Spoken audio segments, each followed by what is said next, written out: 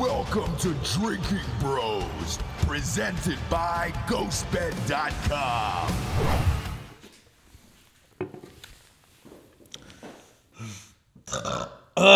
What is up, guys? Welcome to Savage Saturdays here on the Drinking Bros podcast. I'm your host, America's favorite one legged piece of shit. I'm Derek Weida. Check it out. Savage Saturday is a new weekly show coming to you on the Drinking Bros podcast. Um, what is it? What, what, you know, what, um, so it's, we're do, first off, we're doing this shit live, and I stutter my words. I think out loud a lot. I talk to myself. Sometimes I'll just laugh at my own fucking jokes. Okay, um, and we're doing this in my garage. This is my house. This is my garage. I live by an Air Force base. We might have to take an airplane time out um, once or twice during a show. That's not my fault. I can't control it. Uh, but anyways, what, what um, I'm, I'm excited to be here. I'm excited to start this weekly show. Um, you know, Ross and Dan. I've, I've been friends with Ross for like five, six years now, or something like that. And Dan, actually, Dan, uh, who you guys know from the the regular Drinking Bros podcast. Dan and I were in the army together. And uh, they were in Vegas a couple weeks ago, and they said, "Derek, do you have any interest in uh, in doing a weekly show with us?" And I was like, "Fuck yeah, man!" But that's all I can do. I can't commit to like doing a you know podcast. I love podcasts. I love doing podcasts. I like getting to sit down and talking with uh, Ross and uh, Dan. But I can't commit to doing a podcast like they do. Holy moly, they do a show a day or something like that. Um, I'm good for once a week. I'm good for once a week. So Ross said, "How about you do a show on Saturdays? We'll call it Savage Saturdays." I was like, "Fuck yeah, man!" So what? What? Um, what is this show? This is so. I'm Derek. My uh, my name's Derek Weida. Um, I'm a fitness guy. I love I love fitness. I, I, I work out for a living. I help people with fitness for a living. So on Saturdays, Savage Saturdays, we're gonna talk about health and fitness. It's kind of my goal to you know if if you know fitness is my life.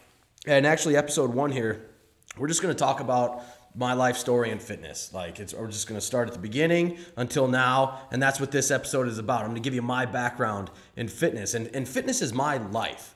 You know, because my life has taken some weird turns, and fitness doesn't have to be your life, but I believe that fitness should be a part of your life. And so if you're working out now, great. We're going to sit here and talk shit, have a good time.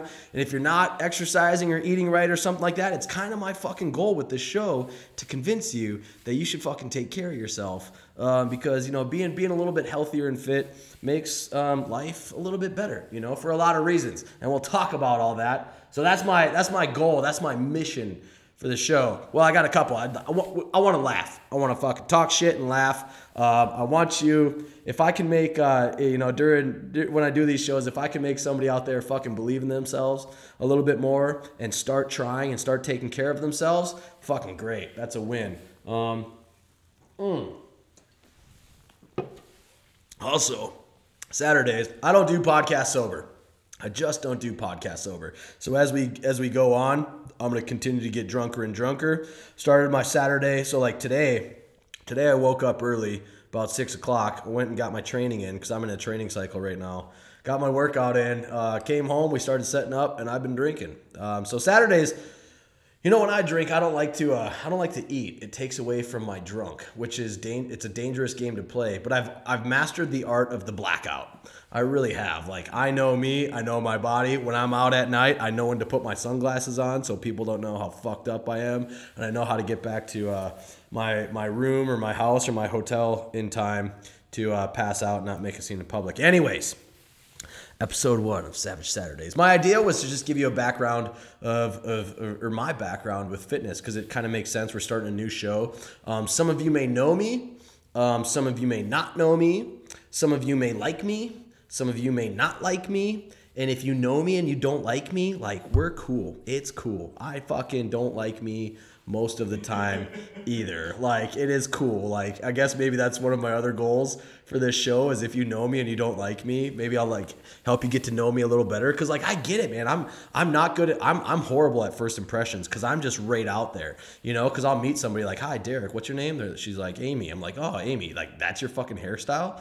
She's like, man, and you know, I just like, I just I like. So if you don't like me, it's cool. I'm gonna fucking, I'm gonna win your heart. Okay. Um, and I've been on the Drinking Bros podcast before, and I've, you know, I've had a, I love the opportunity to sit down. I love getting interviewed by Ross. Ross is just a good interviewer, and I like I'll go on other podcasts sometimes in the past, uh, and people will interview me, and it's just like I'm just like you're not Ross. You are not Ro-" like Ross. Just knows how to get your feelings out of you. You know, like he.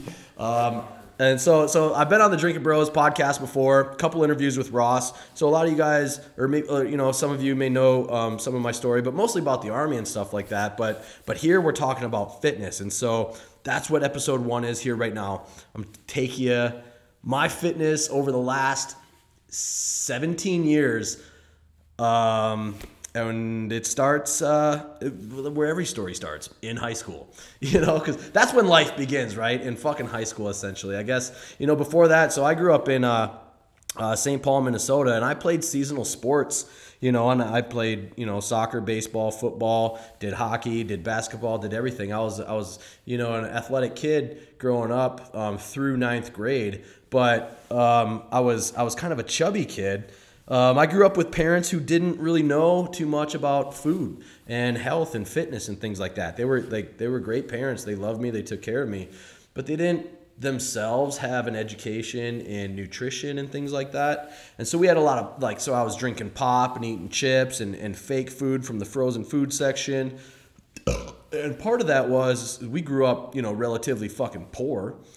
Um, but uh, you know, my mom, my, my dad really never tried at all. And then my mom, I remember she like sometimes she would do her Denise Austin workouts in the morning, and she would go through her kicks where she counted calories. And she was kind of like your typical case of crash diet, lose weight, but then get fat again type stuff. But overall, I didn't I didn't personally have any kind of education growing up about health and, and nutrition and fitness and stuff like that. And uh, when I was in high school. Uh, my high school years were funny. I was I was me in high school with you know I didn't really go to school too much and um, I uh, I uh, smoked a lot and I drank a lot. I did I ditched school to, to smoke and drink and stuff like that. And I learned I was playing the guitar with a buddy and things. And uh, but the, the the tricky thing about me was is like I had a girlfriend. I had a high school sweetheart. I dated a girl for like two two and a half years or something like that.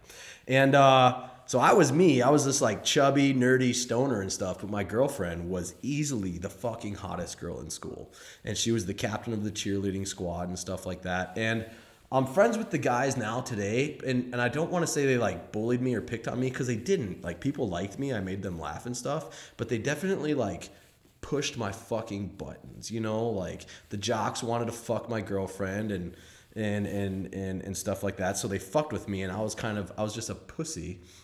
I was a chubby little pussy, and I never stood up for myself, you know. So like it was well known at school that me and my girlfriend sat together, but like I would get up to throw something away, and by the time I came back, somebody would be sitting in my spot just to fuck with me, and I would just sit there and eat it, you know. So I was like, man, fuck this shit. Being a pussy sucks, you know.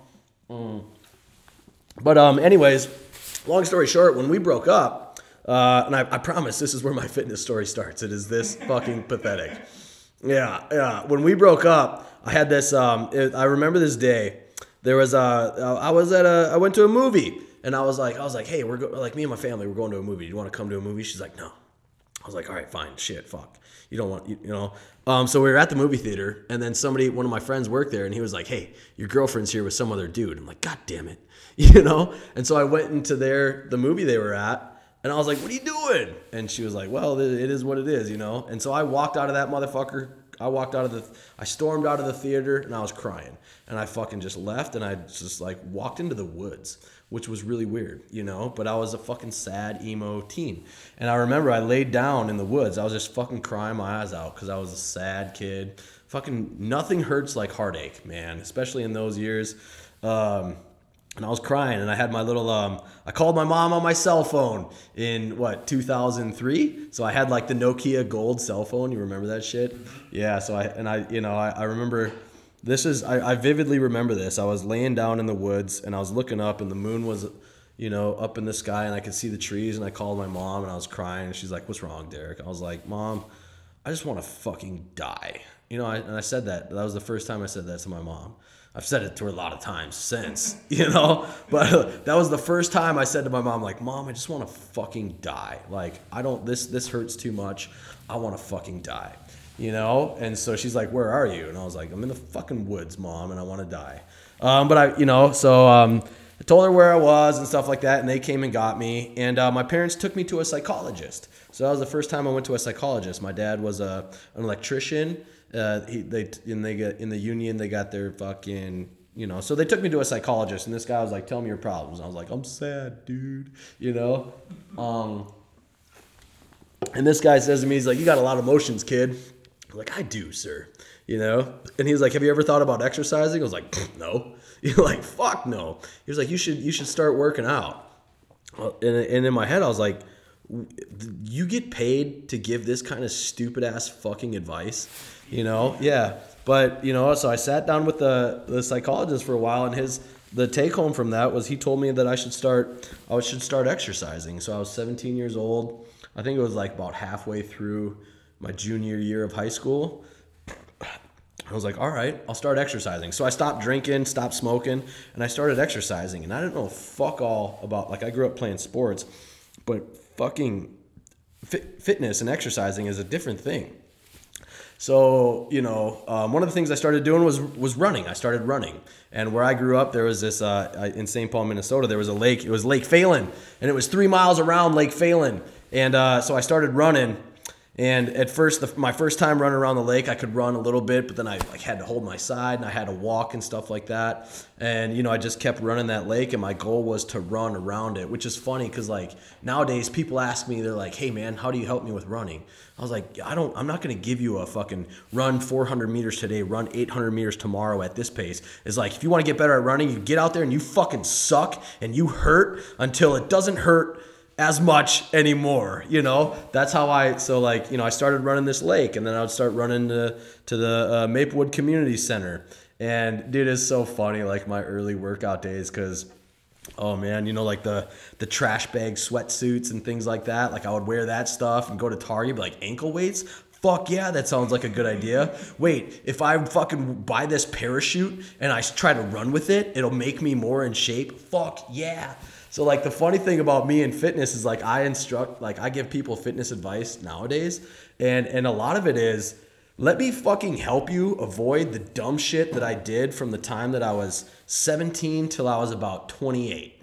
All right? Like there was a good 11 year period where I did a lot of dumb shit. So anyway, I started working out in high school, and um, you know, I was still, I still didn't, um, I was still ditching school, but instead of like drinking and smoking, I was going to the gym, and I hired a personal trainer, and I started working out. We were doing weird shit like plyometrics and stuff back in the day, and lifting and things like that. And so, um, it was it was my senior year of high school, and I've been I've been working out actually I was 17 years old. I've been working out for a while, and it was fitness that drove me to the army not the army that drove me to fitness you know so some people ask me nowadays are like you know did being in the army change who are you who you are now because of what happened and things like that i was like i think i was on this path before it was it was fitness that drove me to the army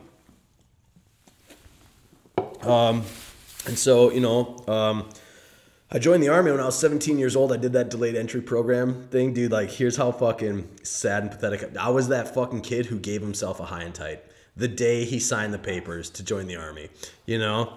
And uh, uh, my senior year of high school, I was just known that I was going to the army. I didn't go to school much. I was just working out all the time, and it uh, it paid off, man. Because like basic training and airborne school, all that running stuff. I've only in the military, I only didn't score a 300 one time, you know, and I was like, oof, that's awful. And so when we would get when we would, get in, if you were with me, if your PT score wasn't 300, it like I fucking I hated you. I thought you were kind of a bitch and things like that. So that's my if you guys are listening and you're in the military, my standard is a 300. I think a 300 personally for me a 300 is the minimum because it's it's such an easy test and it's changed now. You know, they do I don't know what this new army PT test stuff is. It's like it's but it's stupid because like they're like oh you got to do a deadlift but it's not a deadlift it's a it's a fucking deadlift in a trap bar and I just it hurts me. I love the old school test. I love the old school test. Two minutes of push-ups, two minutes of sit-ups, two fucking mile run. But it was actually like the the the, the test for PRC at Fort Bragg. That was a good test because it was that. But the, the run was a five mile run in the sand, you know, and then you had to go right to a swim test. Like that's a cool, that's a good test of fitness right there, you know. So, mm. but anyways, like so for me, I trained up. I trained up. By the time I got to basic training, I was in really good fucking shape. And then I'll tell you, um, in basic training, I actually got out of shape. Dude, I was stress eating in basic training. You know, like um, so uh, when you went through, did you guys did you guys have like uh, every like week or every two weeks or so, like a pizza guy would come and you could buy power bars and shit like that? Dude, yeah, like we you could buy power bars or something like that. Or when we would go on fucking. So here's here's here's the thing about me in basic training. In the it was 14 weeks, right? In week five, my bunkmate went AWOL. And so he was just gone. And so like I would sleep on his fucking cot and so my bed was always made. And then his locker, I stored contraband. And I was like the fucking drug dealer of our basic training platoon. And so I was like fucking slinging power bars and on on family weekend I went to the vitamin shop and I bought a whole bunch of supplements. And so I was selling supplements out of my fucking dude. Was, and I was like, every time we did inspections, I was like, oh fuck, dude, I got a lot of shit. I've always been a fucking liar and a troublemaker. And dude, you know, like, you know what's funny is like people these like it's 2020 and everybody's like, I'm a hustler. I'm like, bitch, shut the fuck up. Really? I've been like. I've been stealing since I was in my teens. All right, like I've been, I've been, I've been turning them my own buck. How old were you when you got your first job? Me, uh, fifteen. Really? Yeah. yeah.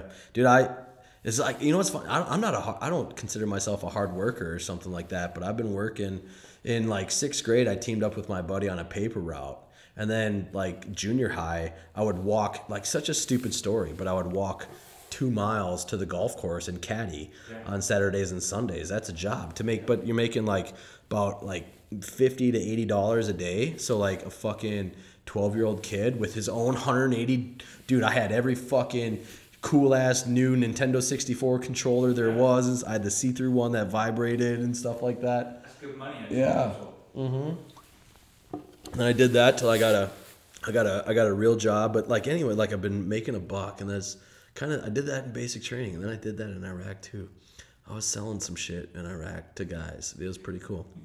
Anyways, you got to know how to make a dollar in the world. But it's funny because I don't think of myself as a as a worker or something like that. But it's just um, but anyways, yeah, basic training. I actually, but so I had this stockpile of power bars and stuff like that, and I was just like stress eating because, and I would, I actually got fat.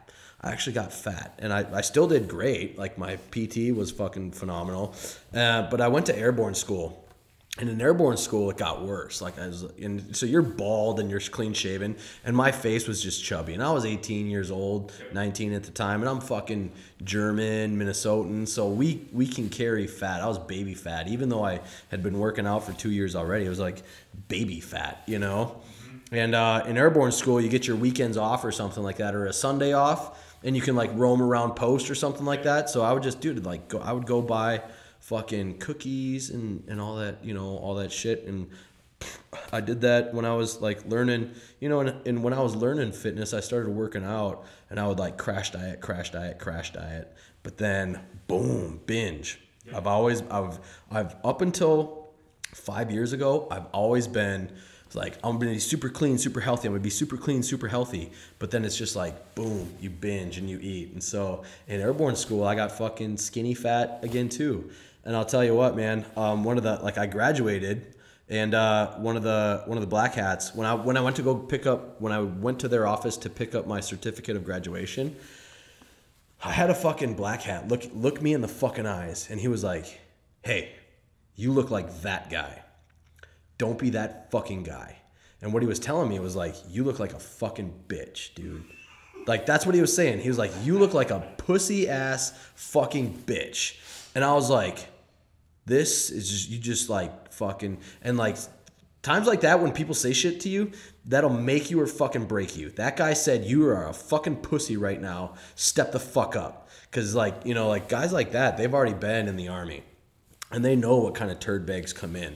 And so like that guy looked at me and I was super I was super motivated. I was I was fucking happy to be there. I was super motivated, but it's just like, dude, you like stress is a weird thing. And you just like stress eat when food becomes your fucking comfort, you know? Like when you don't know how to process or handle emotions and so you turn to a pack of Oreos or something like that. That's a fucking real thing, but that takes education and knowledge cuz that's what I knew growing up. You know, I was only behaving like I had learned. But that guy looked me in the eyes and he said, "You look like that guy." Don't be that fucking guy. And I was like, oh shit. So it took me a few years to change my ways, but like, you know, like, no, I'm just kidding, man. So I, you know, I, I showed up at my unit, and and and you know, I, I got attached or I got assigned to the 82nd Airborne Division there, and you know, like, I'm not here to like talk about my army shit or like deployments and war stories and stuff like that. I'll just say like, you know, when I was when I was in the army, like if we weren't in the field or when we were off work, so in the army, dude, I fucking love that shit cuz you wake up and you got to do PT. PT was at like what? From 6:30 to 8 and then the workday started at 9. But like for me, I would get up before PT. God bless you. I would go to the gym. I would go to the gym and hit a circuit workout and then I would come back and I'd show up at my unit. I'd do PT there because to me running was easy. And then after the workday, if we were in garrison and not in the field or something like that, I would I would either run. I was probably running like eight to twelve miles a day when I was. I fucking loved running, man. And my fucking uh, my best two mile time in the army was ten minutes and fourteen seconds.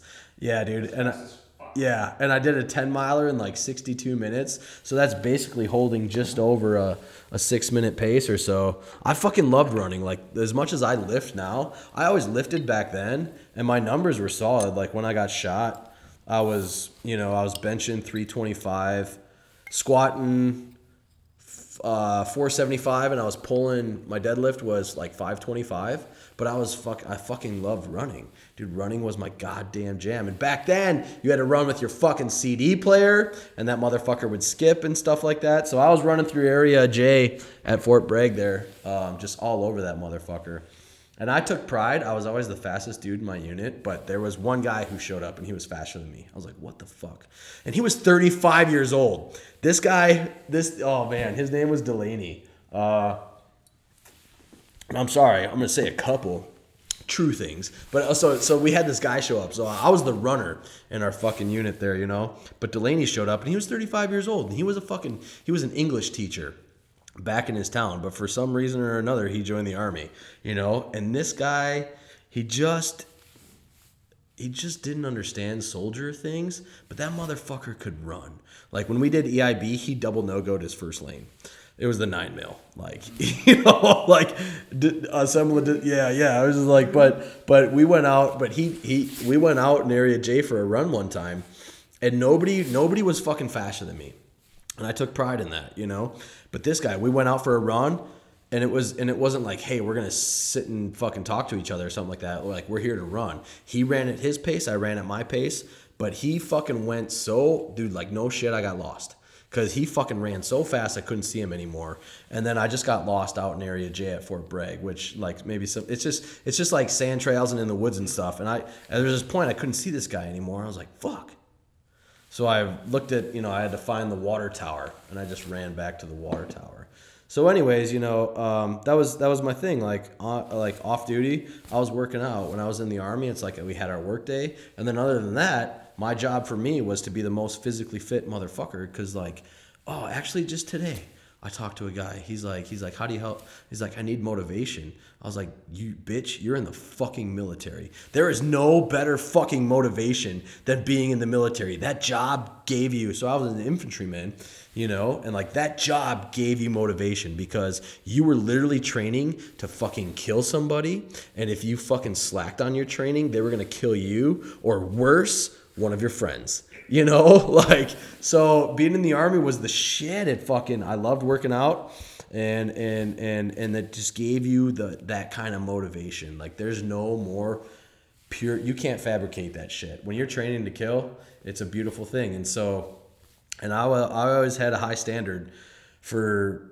uh, people um, when i was a team leader and stuff i had a high standard of fitness for uh, my subordinates and then when i had leaders in the army that were fat, I just didn't respect them at all, and I still don't. And they, you know, I just, I still don't. I just, I can't. I love, I love everybody, but if you're in the military or a cop or a firefighter or an EMT, if you're in a fucking career field,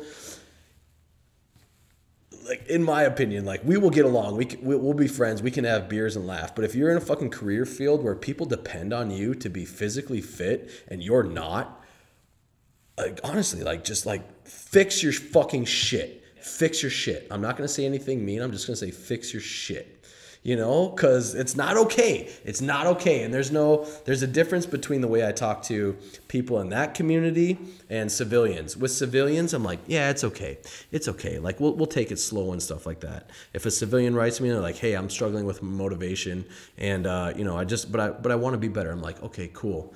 Yeah, I was like, okay, cool let's take it slow. But if a if a if a cop writes me and they're like, "Hey man, I'm fucking fat and out of shape and I don't have motivation," I'm like, "Get your fucking shit together. Get your fucking shit together. You're you're in a you're like just like." I come from the old army. I was like, "You're in a man's world. You're a man in a man's world. Be a fucking man, all right." So, and like, so I had a high standard of fitness when I was in the army. Is the point of this story? What I was trying to say. Yeah. And then, uh, so just, uh, I, I got, you know, even in Iraq, I was working out. And so on the deployment, you know, I, we got deployed in January 2007 there. The deployment that I got shot on was we took over this abandoned uh, shopping mall. We called it Cop Callahan. And it, it, in there, I, um, for a little while, I was the only dude with any weights or something like that. I, I had a dumbbell Here's a good. Here's a good little fucking story. Like you know how fucking in Iraq all their shitters are on the fucking floor there. We were we were doing our patrols or whatever the fuck, and there was a dumbbell. It was a nasty fucking dumbbell, and somebody used it as like a toilet seat. And I just fucking took it. So I took somebody's, but it, like we didn't have dumbbells. We didn't have things to. Just like rest their ass cheek on while they were shitting. No, I think they just covered their poop hole with this oh. dumbbell. And so I was like, I'll take it. So it was like a 20 pound dumbbell. Yeah. And there was this, I can't remember for the life of me what this road was called, but there was a road on our cop. And, and, it, and it was like a fucking mile and a half long, and it came to a T intersection. And right there at the end, there was a gym. We were like, what the fuck? There's a gym? And so I fucking, um, on one of the refits, I got a bunch of cash. And then we went on patrol of this gym. I was like, hey, I want to buy some weights. And they were like, Mr. Mister, no, no, no, no, no. They thought I wanted to like. They thought I was there to steal their shit. I was like, no, dude, fucking, I got money, dog. And so I bought a barbell and two 45 pound plates from these guys. And so for a little while, I like we, we had these we had these weights. And and like the nice thing was is I had some weights to work out with. The bad thing was is they were right next to my cot. And so I'd be trying to sleep or something like that, and the dudes would come use it and stuff, and all of a sudden you just hear like real like that'll get me like real quick fitness tip man if you're like when you're working out you're gonna make some noise right if you're doing this do this instead. Hup, hoop, hop. I'm, I'm big in grunting when i work out. And people kind of make fun of me for my noises but they're burly ass manly fucking noises you know? So anyways yeah. But uh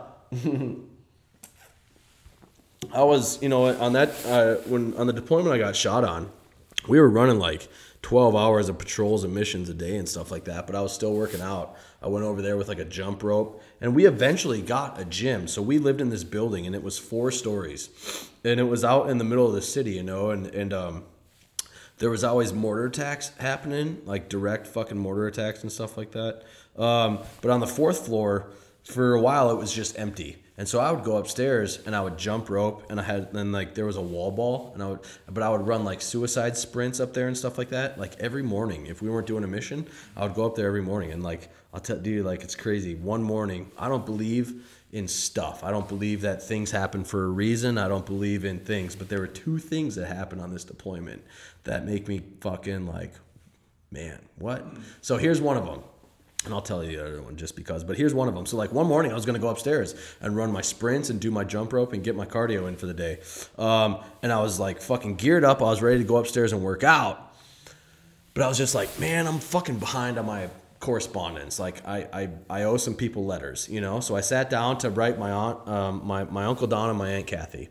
I sat down to write them a letter, and uh, I was I like vividly remember this. I was on the third fucking line of that letter, and all of a sudden it was like gadoosh, a fucking direct attack on our cop. Like eleven rockets hit the building.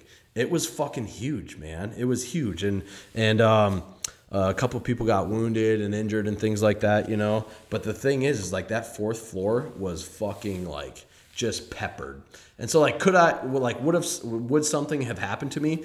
Maybe, but like definitely there was a good chance if you were on that fourth floor because it was just empty. Nobody was up there, you know. And you go up there and there's just like fucking parts of the wall everywhere and stuff like that. So I was like, fuck, I was gonna be up there working out right now, you know. And so like once we did all our shit, I came back to that letter. I was like, I think you guys just saved my fucking life. You know, I was like, what the fuck, you know? But so I was working out even in Iraq and stuff like that, you know? Um, and uh, we'll get back to fitness, but do you want to hear the other story of? So, dude, I am not a like again, I'm not a dude who believes things happen for a reason. Is like I'm cool with people who believe in whatever they want to believe. For me personally, I'm an atheist, but I shut the fuck up about it. You know, like, uh, I I I had two things, you know, back in the day we had the breast pockets there, you know. And so I had one coin in this breast pocket and one coin in this breast pocket. Uh, the coin in this breast pocket was a little pendant my mom gave me and said hope. I have hope tattooed on my lip. Do you know that? Yeah. Knew like. So it was a it was a it was a pendant from my mom that said hope. A little like fucking you know. And then my grandma gave me a coin and it was the Saint of Travelers or something like that. I can't remember.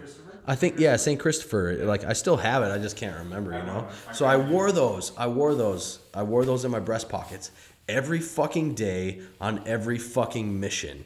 You know. So the mission I got shot on, we were actually scheduled to go on a refit that night. So all my shit was packed. All my shit was packed for refit, and at last minute, we got the call. We're like, "Hey, you got to fucking go out and do fucking bang bang shit tonight." I was like, Usually I'd be down with that, but I was like, I need a fucking break, man. Like, I'm like, can I can I get some hot chow? Can, can I get some fucking Salisbury steak in this motherfucker? You know. So, anyways, I, my shit was packed up. Those pendants were packed up in my assault pack, and I went out on those. I went out on that night of missions without those things in my fucking breast pockets, and That's why you got shot. I know, but like I can't I can't believe that.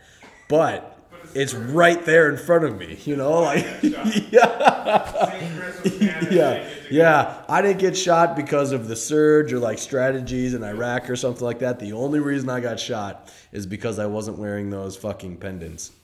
Yeah, maybe possibly, who knows? Yeah. Mm. But anyways, yeah, I got shot. And here's like, dude, like if you want to know how like how big a part of my life fitness is, like I got shot and uh um in the hospital. I wasn't even I couldn't I, I was I was non-weight bearing for about 6 months I think. Like, you know, some some of these me- like so this the period of my life from like 2007 to 2010 or so, I was on so many painkillers and drugs and then when I got retired, I was drunk so much like my memories, I can't trust them. So like in this, if if I say something, I'm at least like sixty percent sure that I'm right. You can't, and even if you're sober, you can't trust your fucking memories, you know. But um, at the hospital there, I was just like, I had I had a leg that didn't bend. I had an external fixator, you know, where you got all them bars and shit fucking sticking out of your leg in a wheelchair. But I would go to the physical therapy area and just lift weights, and I would. I had some dumbbells in my fucking room, and I would be like, "Mom, take me outside. I need to go get my workout in today." Like, I literally have to fucking work out every fucking day. I just like in the hospital at Walter Reed, inpatient, but I'd have my mom wheel me out to the courtyard because I had to get my fucking training in for that day. And especially, so after I got, you know, I got shot in June of 2007, shot through the knee. Yeah, I got shot through the knee on a house raid in June 2007. For those of you who've never heard before, um, and uh, I was laid up in the hospital at Walter Reed for six months. But it's like for me, I work out every day. That's who I am, and especially at that time, like even though I had been shot and the um, prognosis wasn't good, I was living my life as if the harder I pushed myself, the better I did, the more likely I my chances were of returning to my unit. That's all I wanted to do at that time. It's like fix this fucking shit, fix this fucking knee. Let's get let's get back to the unit. So I had to go do my fucking training, and so I'm on you know Dilaudid drips and fucking. Uh, I don't like I. My pain was through the roof, man, and I guess doctors say like knee pain is some of the nastiest shit you can handle. I was on every drug. I was on so many drugs and they still couldn't control my pain. Maybe I'm a pussy, but maybe getting shot in the knee just fucking hurts. Um, I was on a ketamine drip for 72 hours. And that was that was kind of cool. You know, like if you can ever get on a ketamine drip, definitely do that. You know, like yeah, it's, Special K is like the street name for the drug. You know, yeah. but um, you know, even I was I was I was working out in the in the hospital there and and uh there's there's some pictures you know they, they got the walking bar in the physical therapy rooms the walking bars but i was like i can do dips there. And so there's pictures of me doing dips like just dude i'm a fucking i'm that fucking weird i'm not the weirdo. I saw a funny video. There's this uh, there's an instagram page it's called like shaming passengers or something.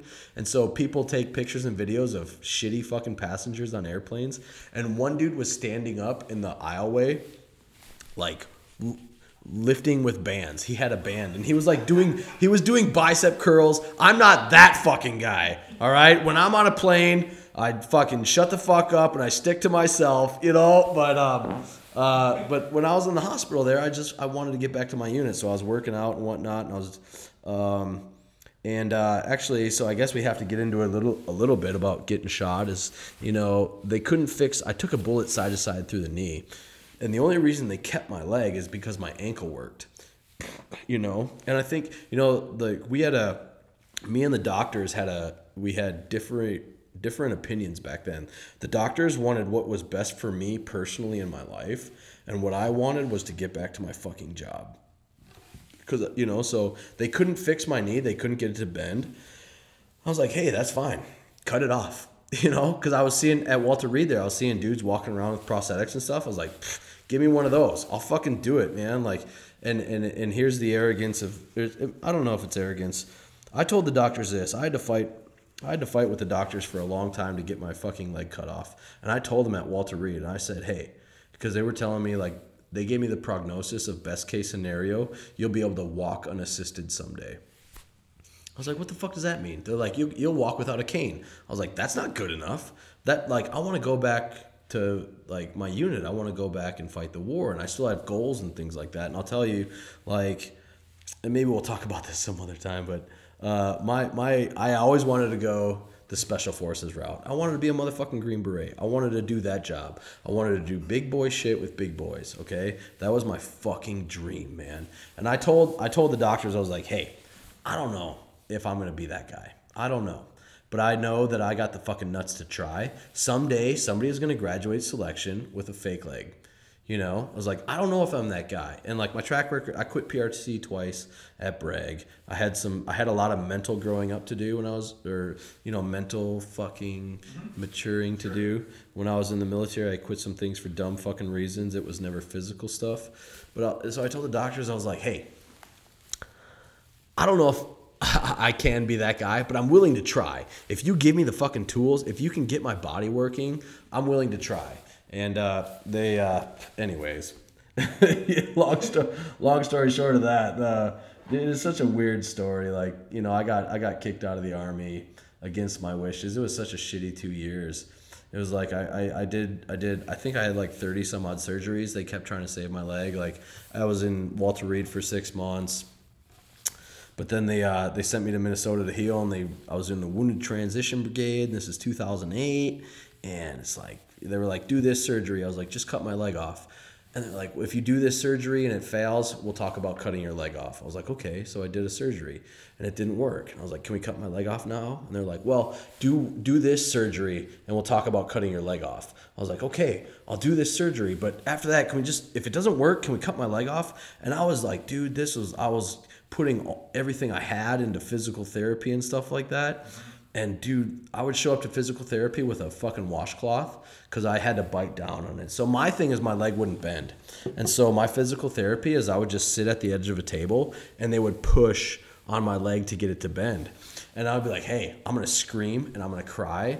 Ignore me, do what you have to do. Cause I'm trying to fucking do some shit, okay? I'm trying to go back to war. I really, really, really fucking liked war. Okay? like, it's like, you have to send me to war. I'm not a good civilian. I got, t- my psychologist when I was 17 told me I had a lot of feelings and I need to exercise them, you know? yeah. So, so, I would go to physical therapy and bite down on that towel, and I would just like scream in pain and cry and stuff like that. And like, if a family member or a girlfriend came with me, they're like, "What the fuck is going on?" Like, this is my physical therapy. It has to be done. Shut the fuck up. Don't tell them to stop. Don't tell them to ease back or something like that. So I was, I was, I, as far as I know, I was giving everything I had to recovering at the time, and, and it just didn't work out, you know. And then the motherfuckers, instead of cutting my leg off, they just kicked me out of the fucking army. And so, so for two years, so we're in, in, in 2009, I got medically retired from the army there. And I think, uh, you know, it's so like right away, right away, I just started drinking. Like, I'm just, I'm in like real drinking, like a fucking 24 pack. I was drinking Bud Light back then, but then like a two liter bottle of Jack a day. I was drunk from sun up to sundown, driving around, things like that. But you know what's funny? I was still working out. I would. I I remember one time I got released from jail, and I went right to the gym because I had, a, I had an appointment with a personal trainer. I showed up in jeans and shit like that. Um, I ended up kind of sobering up for a little while, and I was going to college. But I, I had gotten two DUIs um, right after I got uh, medically retired from the army. Like, I'm not proud of that, but it is what it is. I was living like shit at the time. I was just drinking and wanted to fucking die. So I got two DUIs, so I had a revoked license. And I was in college for a while and I would I would I would get up early before school and I would walk I would walk to the, I lived about a mile away from the college I went to. So I would and they had a gym. I couldn't drive to the gym because I didn't have a fucking car you know? So I would walk to school. Dude it's like you know I'd walk to school I'd hit my cardio I'd go to my classes I'd come home have some lunch go back to school and work out. Like I can't fucking stress enough. Like looking back I don't think about my fucking history and stuff like that but like looking back, like fitness has always been like the main thing. In, I don't. It's some for some reason it's how I define myself. And sometimes I wonder if it's healthy or unhealthy. But then I'm like, shut the fuck up, Derek, because like you know what you know what I learned. The meaning to life is the meaning of life is never asking yourself what is the meaning of life. It's just living it. You know, like this is who I am. I fucking love to work out. You know, like um so those were those days like 2009 to 2011 were, were tough years but uh, like even in my tough times like people are like hey man i'm really depressed. I haven't worked out. Like we're not relatable. I work out through everything. I always always always i think my depression comes from things outside of me and sometimes i get sad and overwhelmed because of like i get dude like i have to shut my brain off to the world outside of me because cruelty makes me sad you know like that's what gets me depressed. My my life my ways don't make me sad. It's just the outside world how people are mean to each other that fucking that's what makes me depressed is that i have to live in a world where i'm just like well why are people so mean to each other all the time? Like don't get me wrong i'll kill a motherfucker and asshole you know but you know but but good people deserve to be treated nicely god damn it you know but like even even even in my worst years my like my most depressed years where all i wanted to do was die i still worked out because i've always fucking fought. I think that's a difference between you know like i don't i don't want to say there's a difference between me and the people i help but there has to be right? Because that's why they ask me for fucking help you know? So like the difference maybe the difference between me and somebody else is like that has been my constant. And i kind of say that now you know? Like if if if you know you know sometimes you get stuck in a hole or something like that but if you build a foundation and for me fitness is a foundation you know so it's like so it's like i always here's here's working out i always work out i take care of myself i i eat good and i exercise and then okay here's my um, relationships with friends and family. Here's my career. Here's my relationships with a loved one or something like that. I can lose all of these things. I can lose, you know, like break up or get divorced. I can fucking lose my job. I can have shitty relationships with my family. But as long as I'm taking care of me, I can't go lower, right? Like that's a fucking huge deal. You know, it's like as long as you're taking care of yourself and even in like in those bad times, if there's ever a time to really give a shit about yourself, it's when you're at your lowest. You know, you know, because people are like, "Oh man, I fucking, you know, like money's tight, my my my marriage isn't going so great. On top of that, I'm eating fast food every day. I'm not exercising. I'm fucking getting fat, and so like that's just compounding on the fucking problems, you know. So even in those years, I was exercising. Um, and then and then like we'll just you know I got my leg cut off finally uh, in 2011 there, and it was a beautiful fucking thing, man. It was like I was finally back in control for like so for someone like me, like people look at me now like I'm disabled now for sure. You know, like this is fucking hard, but at least I'm in control. Like there's things we can do and stuff like that. But my leg after when they kicked me out of the army, my leg didn't bend. It didn't fucking bend, and it hurt like a motherfucker. And so there was a lot of things I couldn't do. Like literally there was a lot of things I couldn't do. And I didn't have control over that. So now if there's something that I can't do, I can at least try to figure out how.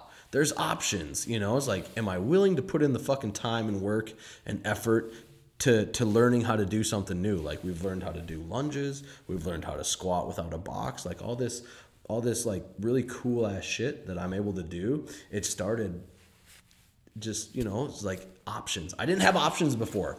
Fuck that. Fuck that life. No wonder i wanted to fucking die. You know like everybody wants to be in control of their lives you know? Mm. so you know december december 6 2011 i got my leg cut off. And ever since then and I, have said this a million times like this and it's and, but it's true and i remind myself of it because um, i'm back in control. So now my success is dependent on how hard I'm willing to push myself physically and mentally. There's a lot of fucking amputees. A majority of amputees are just dude like there's like I'm not like this is Savage Saturday. They're lazy, whiny pieces of shit. They're like I'm a fucking amputee. I can't do that. Like you can, you you just won't. You know, like you can, but it but being an amputee sucks, dude. It fucking it's a life of pain and constant uncomfort, but it's a life.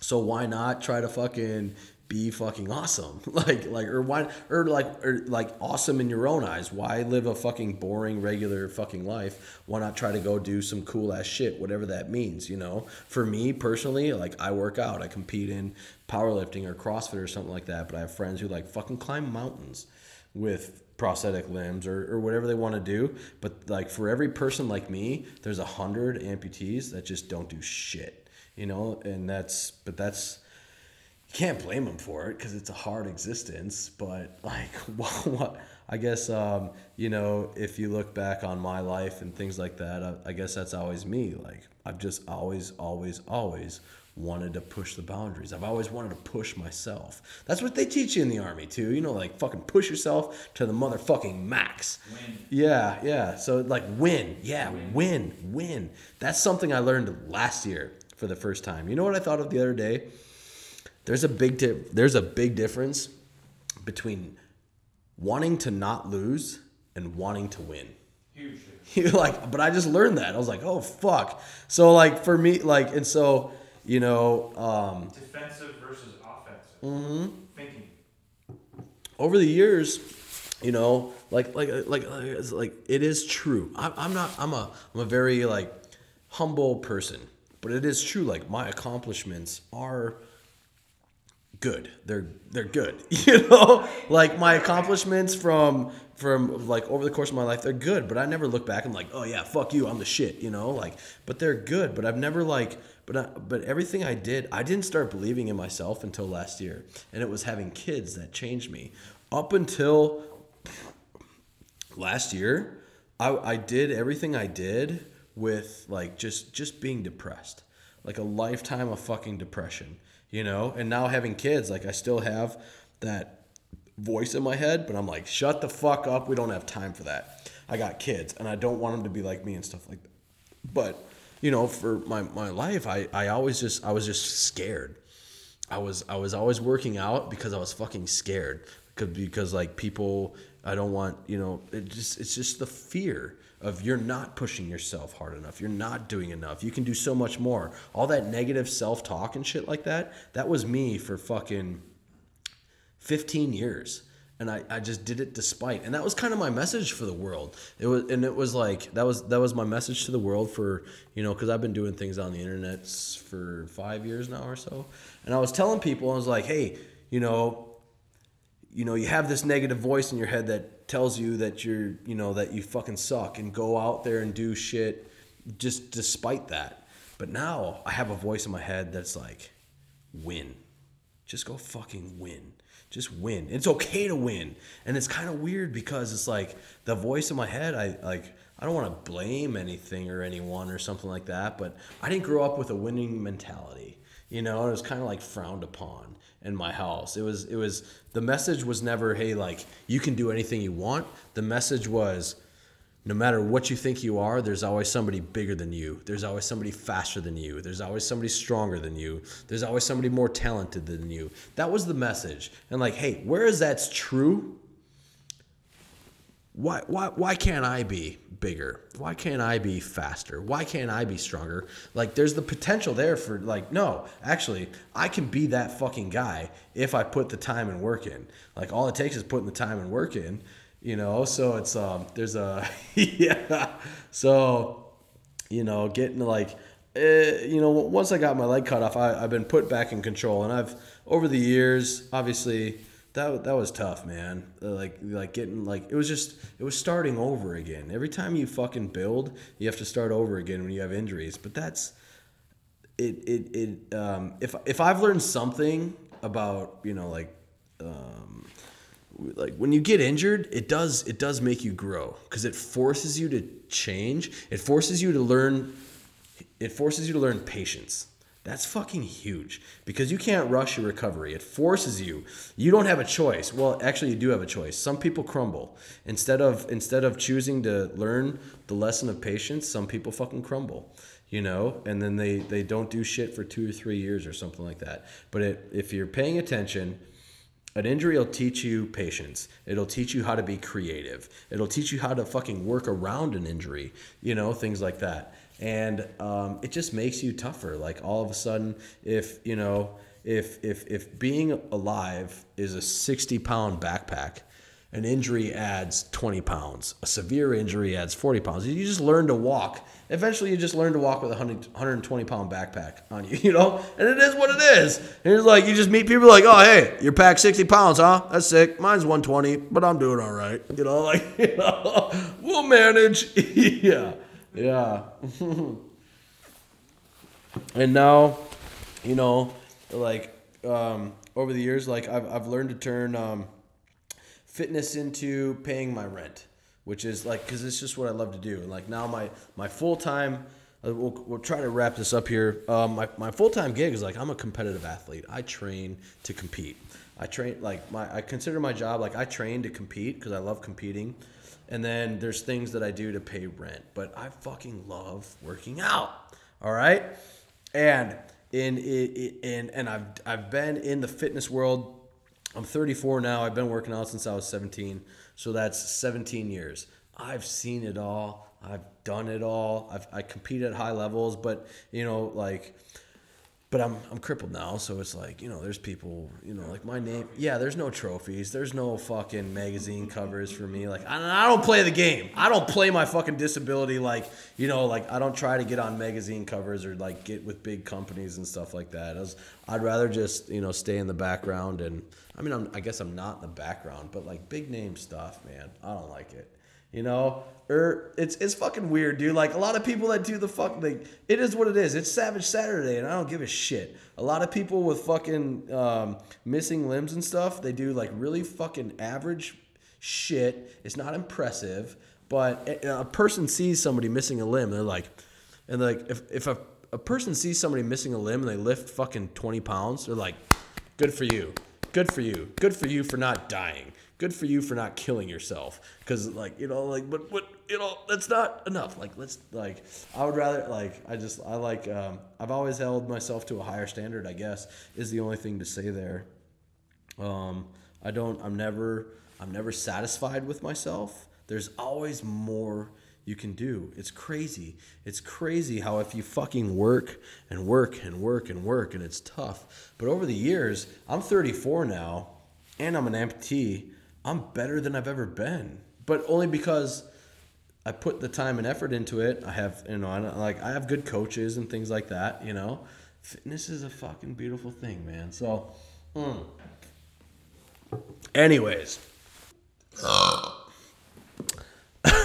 so the point of all that fucking bullshit story stuff was to tell you like fitness is my fucking life. Okay? Like it is it is it is it is my life. It has always been my life. For one reason or another, that's that's what my life is, okay? And and and um fitness doesn't have to be your life but it should be a part i truly believe it should be a part of your life and because you have you're here like wherever you think you're going after your time here on earth that's fine with me but while you're here on earth you have a body right and like it can be healthy and fit or it can be you know and fitness plays a, a role in your mood and everything like that and like like one, one of the best things i ever heard in the army was look good feel good it was like Sergeant Hayes. I remember that. He's like, look good, feel good, man. When you fucking when you fucking take care of yourself and you look in the mirror and you like what you see, that shit fucking goes it, it pays dividends in the rest of your life. If you just kind of like walk around and like so where fitness is is my life.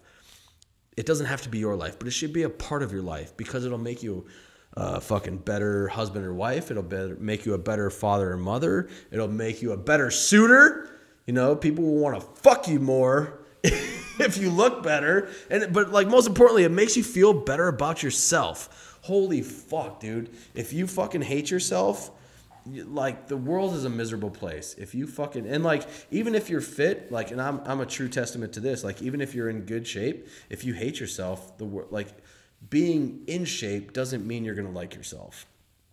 But at least you have that or like and maybe you don't even think about it at the time but um, you know like fitness should be a part of life you should give a shit about yourself you should give a shit about your body you should give a shit about your health. Or you should give you should you should demand more of yourself. Like humans we're, we're capable of such cool fucking things. And and and, and you uh, like it you should want to see what you're capable of. At a minimum at a minimum you should take care of yourself. And and and a lot of a lot of times fitness is just sort of like a confidence thing you know? Like people have a hard time um, um, with uh, but oh man i guess all i'm thinking about in my head right now is like I think about the people who struggle. They're like, oh, but they're like the people who are like 200, like a fit, like a, a woman who's 5'2", 250 pounds, and she's just like she has no hope anymore, but she's waiting for somebody to say, "You can fucking do this." That's what I want. Like like on Savage Saturdays, I want to talk shit, but if I, if I can fucking like if there's one person who listens or like even a dude like a former like a veteran he's been out for nine years and he's gained 50 pounds and he used to have all this pride but now he's just he's just fucking fat and he's nasty and he's angry at himself for being fat and nasty it's like find your fucking nuts Find your fucking nuts. Find your fucking find that fucking voice inside your head that says you can do this. You know, fitness is nothing more. It is literally nothing more than doing the things you know you need to do. Doing the things that you're fucking that voice in your head that tells you to be a better person, listening to that voice. And people getting their ass kicked by fucking cookies and Pop Tarts and pop these days and things like that. And moving forward, we're going to help you with all that stuff. Episode 1 was just me introducing myself, telling you my story, okay? And I probably fucking just rambled and shit like that, but that's okay. That's what I do. That's what I do. Like moving forward, like you got to introduce yourself. I fucking hate talking about myself, man. Like I just like, well, it's like you know, I was like t- telling one story, but then thinking about the fucking weird things with dicks I did back in that day. I was like, oh shit, stay focused, Derek. You know, yeah. But like moving forward, like what, like on the like Savage Saturdays, we're fucking we're gonna have guests, we're gonna have topics, we're gonna have we're gonna have uh, we're, we're gonna provide information and knowledge. We're gonna talk a lot of shit. I'm gonna talk a lot of fucking shit because that's kind of what I do. But um, my goal moving forward here on on on, on my show on, on on my one day a week on the Drinking Bros podcast is um um, just help you guys, help you believe in yourselves, help you with fitness, help you navigate the fucking world of health and fitness because it's a shitty fucking world. There's a lot of dumbass snake piece of shit motherfuckers that just want to steal your money, all right? And they and they make you care about stupid fucking things. Okay, we're gonna avoid all that. we're gonna avoid all that. We're gonna laugh and we're gonna drink and we're gonna fucking talk shit. Um, real quick, real quickly, um, I would be remiss if I fucking uh, didn't tell you like um, if you, if you want my help right now directly. Um, you can find me on Instagram. My name's Derek Weida. It's D E R K W E I D A. You can find me on Facebook. It's also Derek Weida. Okay. I have a website. It's derekweida.com. Okay. And, and, and like a month ago, for the first time, we started selling training programs. If you need, if you, if you're looking for training programs to follow, derekweida.com. Them motherfucking training programs are what? Like they're like 20 bucks. There's a 12 week training program for sale right now. It's 20 bucks. We released it January 1st. People are doing it. I mean, a lot of motherfuckers are doing it, and the feedback is great. You know, so I've been I've been helping with people with their fitness for about five years on the internet, and I've been doing it for free for the most part. But now I have a family. and I'm like, fuck, these boys eat a lot of food. I have twin boys. Man, do you know how that's expensive? You know, it's, it's cool. So we have a there's a 12 week program. Um, but it, but what I like is it's sharing my like I just told you. I'm 34 years old now. I've been working out I, since I was 17, and I've, I've kind of done several different worlds of fitness. I've competed in powerlifting, CrossFit. You know, like I could have done a bodybuilding show, but like, who wants to stand on a stage and flex at people? And if that's your thing, cool, but not me. You know, um, I, I, I've done a lot in fitness, and this is sharing what I've learned with you.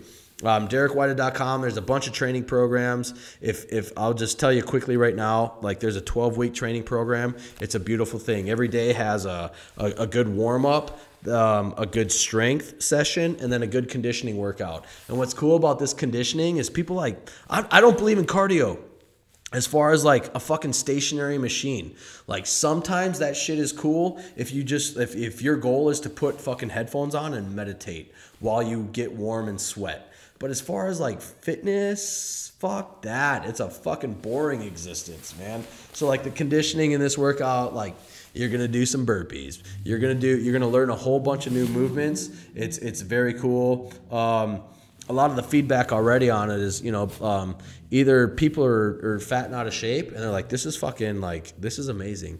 But the best feedback is the people who are, who write me. I love it. They're like, dude, I thought I was in shape. This 12 week program is kicking my ass. And it's not like the 12 week program.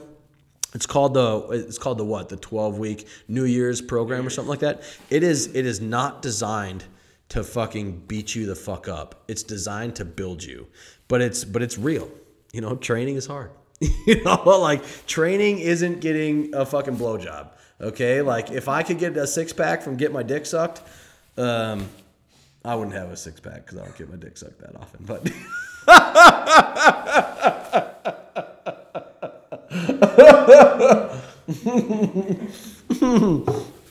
yeah, training stuff.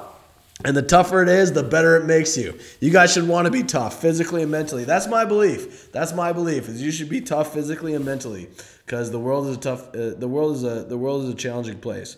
But it's uh it's easier to navigate if you if you if you if you have uh, the confidence to approach it. Anyways, I, that, that's about all I got for the like, episode one. I can't talk about myself um, much more than that. That was um, yeah. Um, uh, just let you know, moving forward, we're gonna have topics, we're gonna have guests, things like that, um, and, and we're gonna have some laughs. Anyways, uh, thank you guys for joining me on episode one. This is Savage Saturdays on the Drinking Bros podcast. I'm Derek Weida. I'll always say I love you, and that's my. I guess that's my message for the day. If you fucking love someone, tell them it's okay. I love you guys. Cheers.